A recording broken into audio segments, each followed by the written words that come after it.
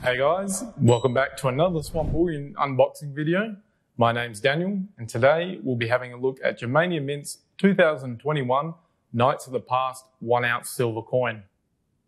Now, this is the box that 15 of them come in. We'll open it up and have a look at them. Now this is a new series to Germania Mint. It's also the first coin that they've done that incorporates the euro currency, more specifically 5 euro.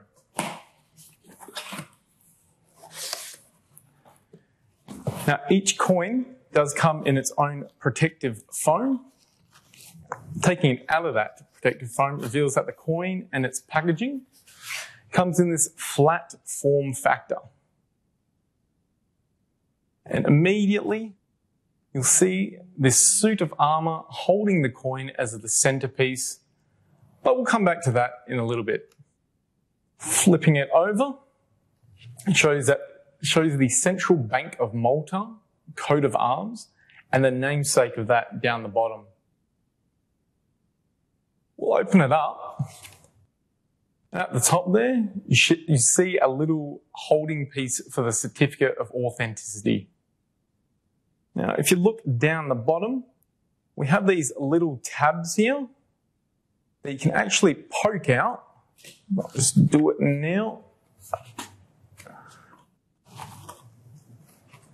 And this allows the piece to be the display piece itself, like so.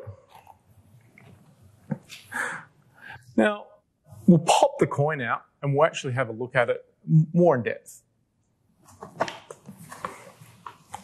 So starting on the obverse, you have a chainmail pattern in the background with a Maltese knight holding a shield that encompasses that same Central Bank of Malta coat of arms. You also have that Malta at the top, as well as the 2021 year date located at the bottom of the obverse. Flipping over onto the reverse reveals those Maltese knights of the past on horseback charging into battle with spears. As well, you get that foreground knight holding that banner as well as his sword.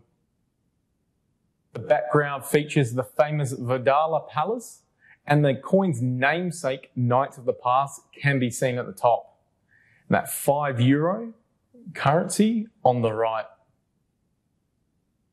Now, if this is something that you would be interested in, this is now available both in store and on our website at swanbullion.com.